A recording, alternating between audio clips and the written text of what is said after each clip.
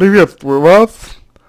А, я, конечно, не знаю многих деталей, например, ага, откуда вы знаете, что вас ПА, а, и, собственно говоря, какие вы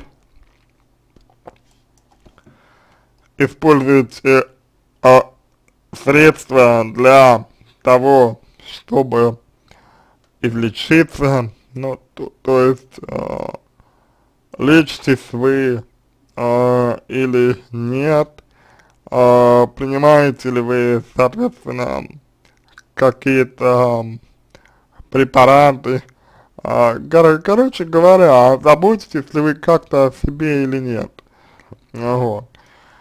А я, конечно, всех этих вещей не знаю.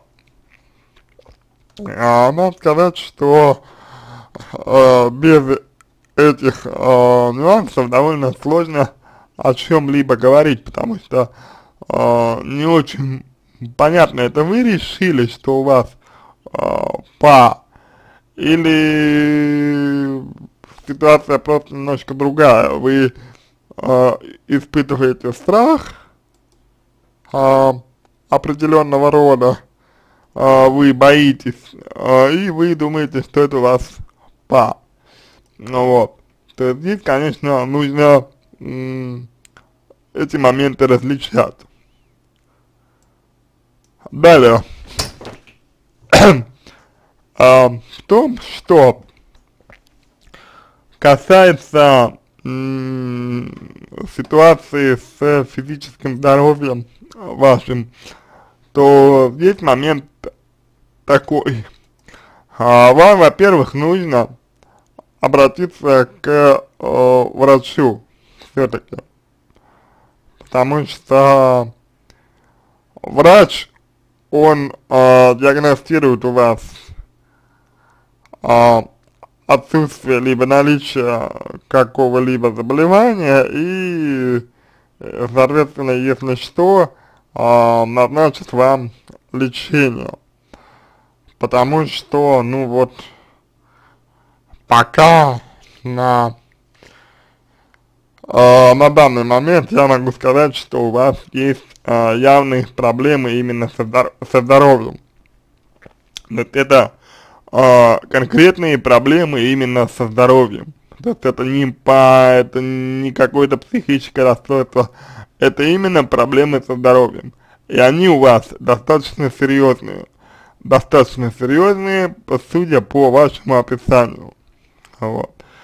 Соответственно, даже если, даже если а, вы будете работать с психологом, даже если вы будете работать с, с психологом, то ваше физическое состояние вам, а, ну, по сути а, дела может э, помешать э, добиться каких-либо результатов.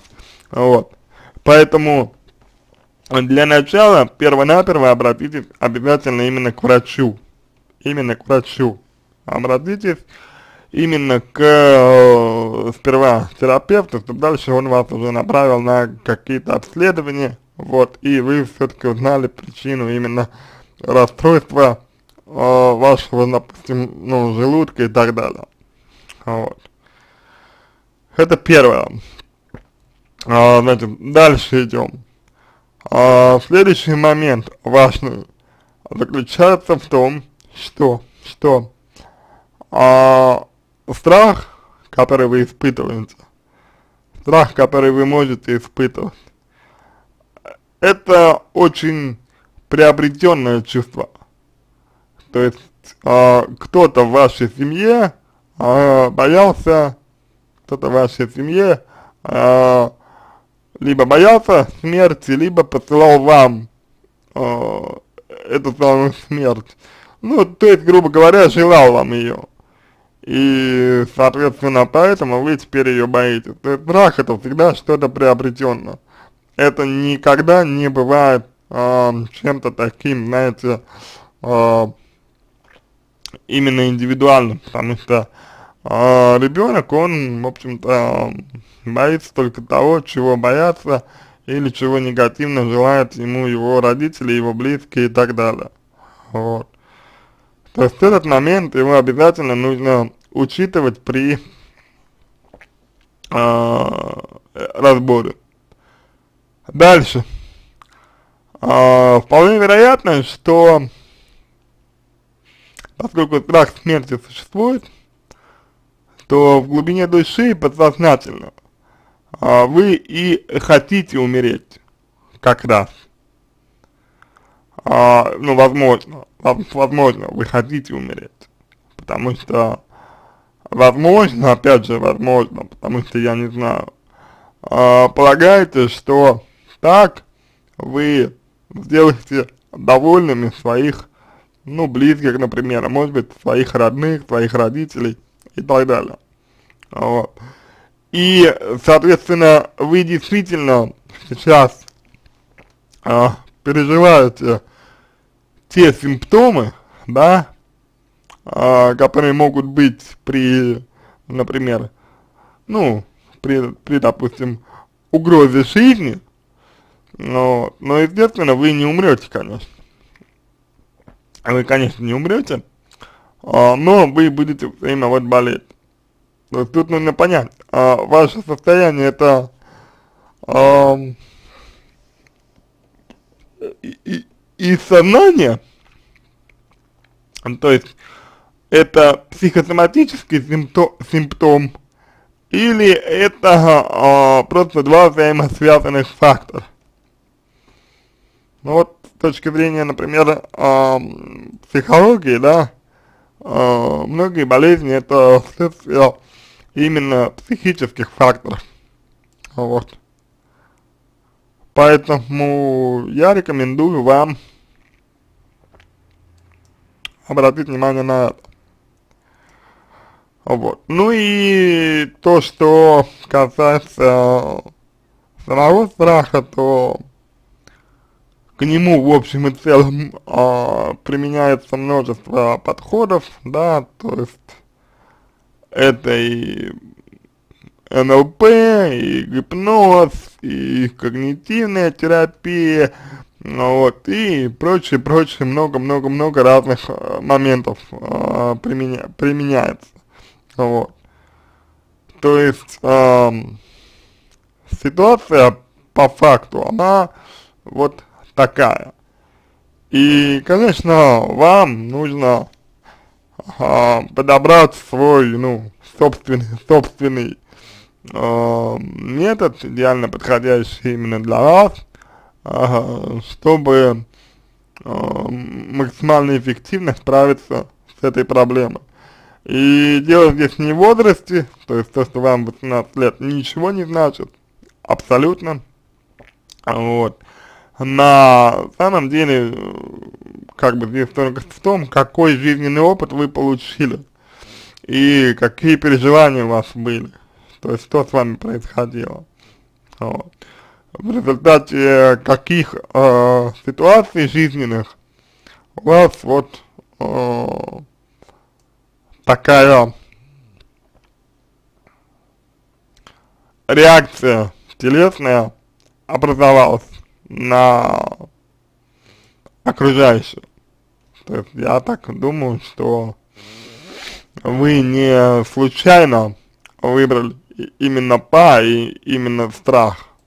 То есть это, опять же, что такое страх? Это слабость, да, это беспомощность. А, и вам хочется чувствовать себя, я полагаю, именно такой, именно беспомощной вам это нужно.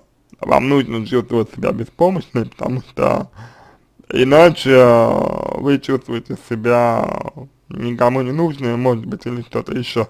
Ну, в любом случае, внутренние конфликты, они тоже а, подлежат, подлежат разбору, внутренние конфликты тоже а, рассматриваются в а, индивидуальной работе, работе с вами и так далее. Вот.